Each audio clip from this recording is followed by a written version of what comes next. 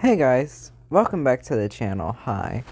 So today I wanted to make a video uh, that I recently got was basically that I recently got from people from my friends in Arizona on what is a gender warrior.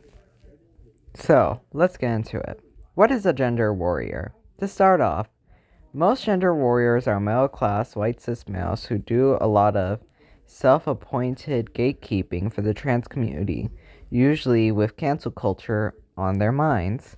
A smaller percentage of gender warriors are white middle class labor aristocrats who happen to be trans.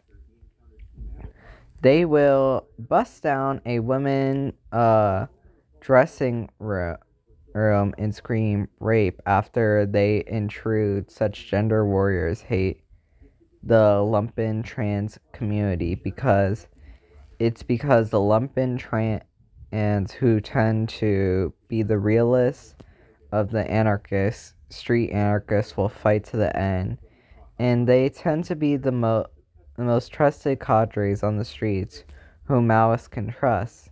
Gender warriors are who actually are tra- are trans preying upon cis men who don't fully understand what is trans. They hope to do they hope this in they do it in hopes of making people transphobic so they can cry victim. Basically, it's kind of like the whole truscum thing and stuff like that.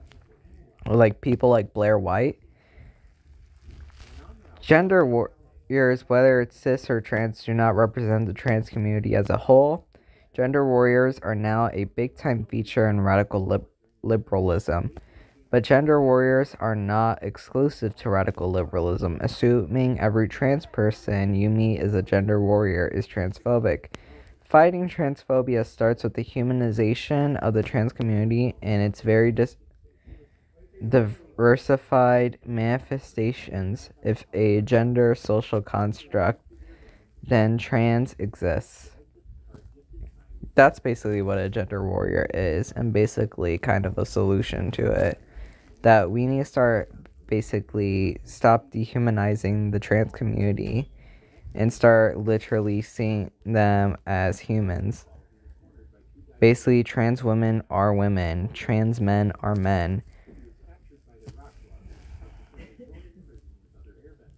That's what we should be saying. That's what we should be doing, giving solidarity to our trans, to basically the trans community entirely and supporting their existence. Thank you all for watching. Like, share, and subscribe, and I'll see you guys next time. Bye bye.